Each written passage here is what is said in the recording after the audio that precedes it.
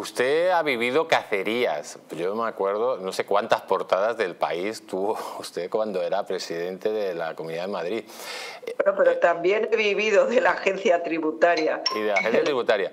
Pero eh, hasta, de mi declaración de la renta, que estaba absoluta y totalmente perfecta, pero que es verdad que fue el único año de mi vida que gané dinero, que fueron 300 y pico mil euros, pero todo estaban declarados, todo estaba perfecto y sin embargo se filtró.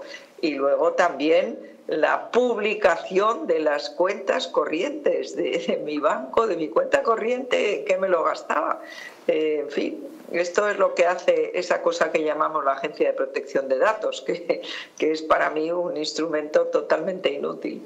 Pero, por ejemplo, si eh, esta campaña que está haciendo ahora para tapar el mayor caso de corrupción de la historia de España, que es ese caso Mascarillas, ¿usted cree que el Partido Socialista va a poder tapar toda esa basura con, intentando crear un bulo con, contra la señora Ayuso?